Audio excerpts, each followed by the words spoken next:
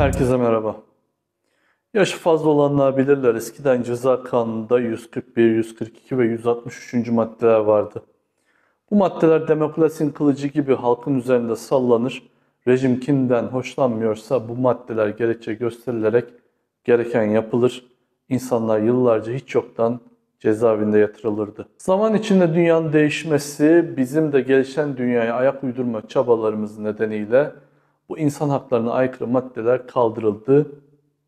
Aslında biz kaldırıldığını zannediyormuşuz. Öyle değilmiş. Bu maddelerin adı şimdilerde yeniden yapılanma oldu. 15 Temmuz darbe girişiminden sonra başlayan cadı avı artık yeniden yapılanma adıyla devam ediyor. Gün geçmiyor ki ev hanımları, öğrenciler ya da cezasını yatıp çıkmış insanlar tekrardan gözaltına alınmasın. Sebep? Sebep yeniden yapılanma. Nasıl yeniden yapılanmışız? Cezaevindeki kızına para göndermişsin. Yurt dışındaki abinden para almışsın. Başka bir KHK'lı ile telefonda görüşmüş, onunla kahve içmiş, yemek yemişsin. Parasal sıkıntıda olan bir arkadaşına gıda kolisi yardımı yapmışsın ya da para vermişsin. Bu saydıkların hepsi yeniden yapılanmanın sebepleri. İşte bugünkü videomuzda 7 Mayıs tarihinde emniyetin hukuk aykırı olarak yaşları 13 ila 17 arasında değişen 15 kız çocuğunu gözaltına almasını, yasaya aykırı bir şekilde 16 saat boyunca gözaltında tutma sürecini, bu soruşturma nedeniyle yazılan iddianamemsi şeyi ve pazartesi başlayacak davayı anlatmaya çalışacağım size.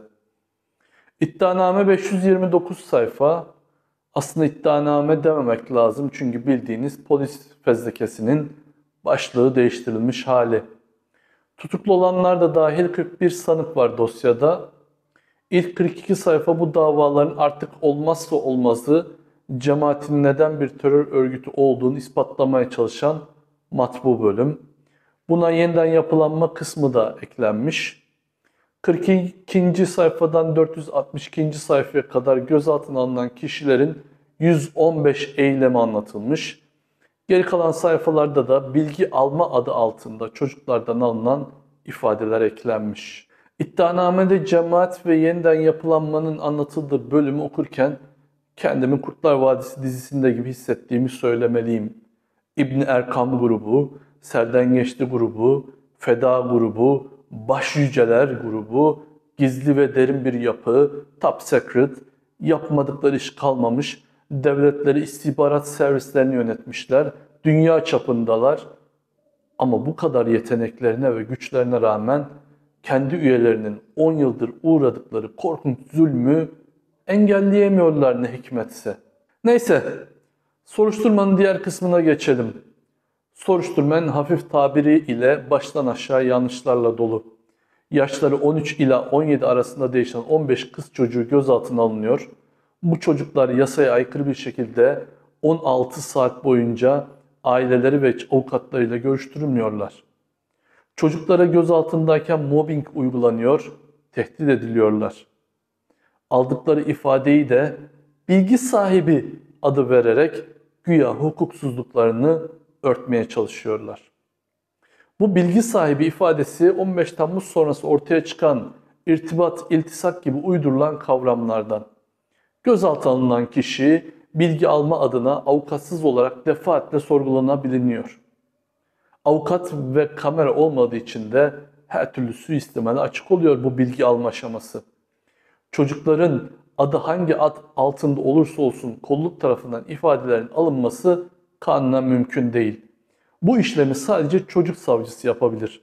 Bakın normal savcı bile değil, çocuk savcısı olmak zorunda. Tanık olduklarını düşündüğümüzde ise yaşı küçük olanlar sadece kanuni temsilcilerinin rızasıyla tanık olarak dinlenebiliyorlar. Bu iki önemli ve aynı zamanda insani usule dosyada uyulmamış.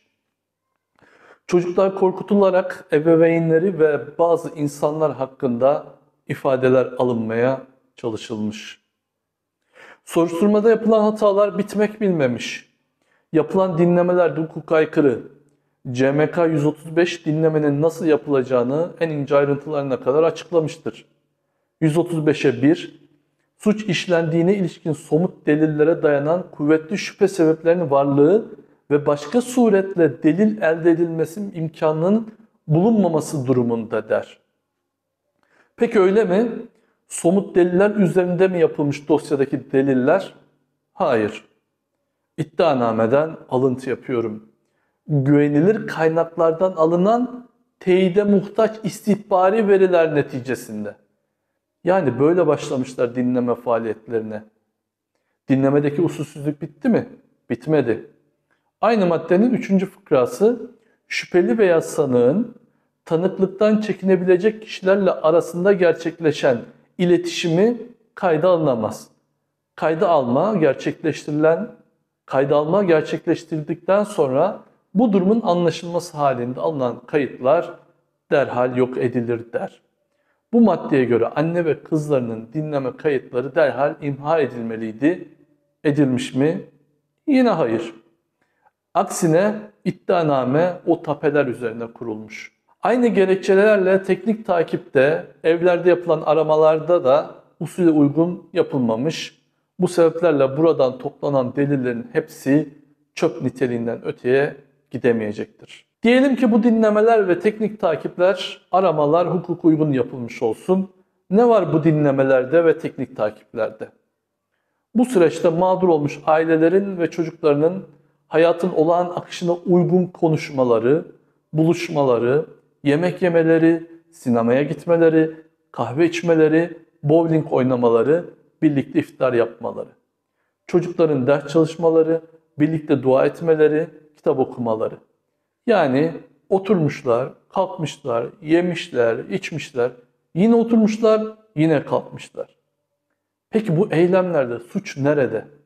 Nerede silahlar, uyuşturucular, eylem planları, suikastler, adam öldürmeler, dağ kaldırmalar, haraç toplamalar, tehdit etmeler? Bu terör örgütünün eylemleri arasında bu suçlar yok. Kitap okuma var, dua etme var, gıda yardımı var, ders çalışma var. Silahlı terör örgütü ama örgütte silah yok.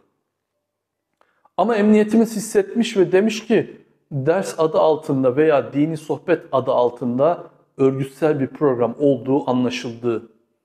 Nasıl anladın? Ortam dinlemesi mi yaptın?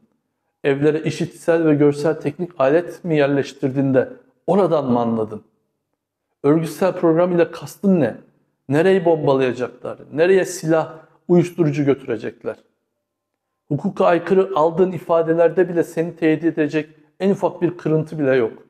Nasıl anladın? Cevabı yok tabii ki. Bu dehşetengiz başarısından dolayı emniyetimizi kutluyorum. Aylarca annelerini ve kızlarını izlemişler, dinlemişler, takip etmişler. Çok girift, karma karışık bir dosyayı tereyağından kıl çeker gibi çözmüşler. Keşke buraya harcadıkları mesaiyi uyuşturucu ve silah kaçakçıları için, ülkemizi mesken etmiş mafya babalar için, kaybolan, öldürülen narinlerimiz için harcasalardı. Burada olsa olsa hayatlarını mahvettiğiniz insanların hayata tekrar tutunabilmek için gösterdikleri çabadan ve dayanışmadan söz edebiliriz.